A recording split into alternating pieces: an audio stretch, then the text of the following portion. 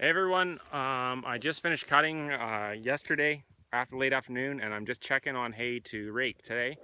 And uh, it's just me and Jake here seeing what we're doing and uh, just checking up on it. So I'll show you guys what we're dealing with. So this is a low spot. I'm, what I'm doing is I'm checking low spots to see how bad it is. So that's water. That's a lot of water. That's not great. Um, where I am it is a lot, a lot of hills. So everything's on hills.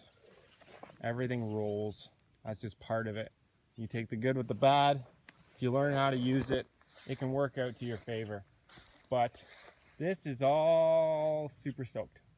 Um, it's rained so much here this time of year. It's, it's been insane.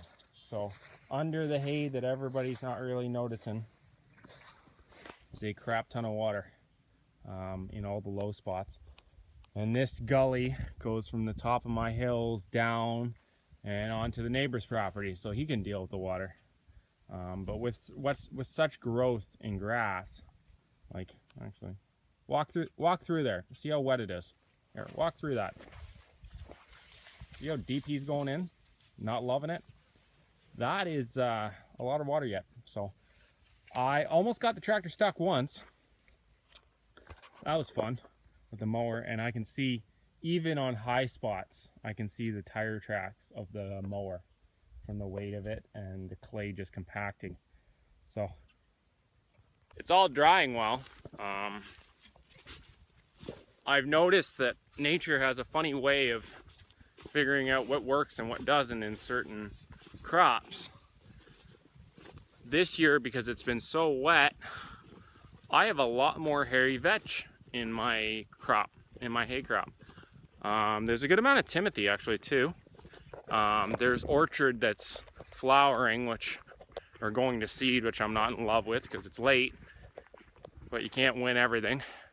But it's just funny though how uh, nature just knows what to do, what, what grows and what doesn't. When you have a wet year, um, you just have a lot more of different things. So this year there's more hairy vetch in all the low spots. There's a lot more canary grass and even species that I haven't seen in years, which is reed, um, not reed canary. Uh, it's a red canary grass on around the, the ponds and stuff. And uh, yeah, it's it's just crazy how it knows what to do and what grows in wet spots and everything. I lost a bale in one of these freaking fence lines. Um, if, if, you see where I'm walking, actually I'll show you here. This fence line actually was an original driveway. Um, so from where the top of the hill is on our farm, it rolls back to the forest. And when they originally created this property, they fenced that all in. So it's a tree driveway and it goes all the way back to your forest. So you would work forest, but our family being a cattle family, couldn't give a crap about forest. Really didn't see it having any value. The only thing this fence line ever worked as as a driveway is to access the back pasture that we can see through here going to the second section of the pasture and you could bring hay up and down the driveway without having to open and shut gates all the time for cattle. So that was all it ever got used for and uh, I hope to change that a little bit. We'll see how it goes. Um, and get it so it's back because there's new growth trees in it and stuff and I'd like to clean it up and make the forest into something that you can walk through and enjoy and use and take the benefit of because there's a lot of good things that go on in the forest that you can use on your farm. It's just another arm, right? Another arm of the farm that you can use for something.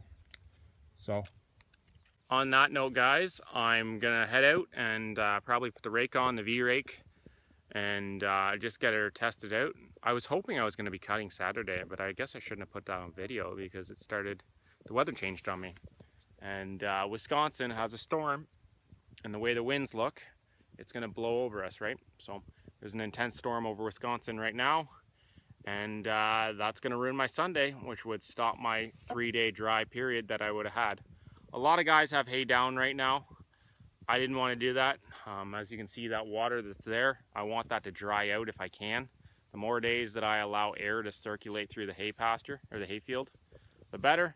So that's why I decided to not um, cut everything because it'll just rut the living crap out of my fields.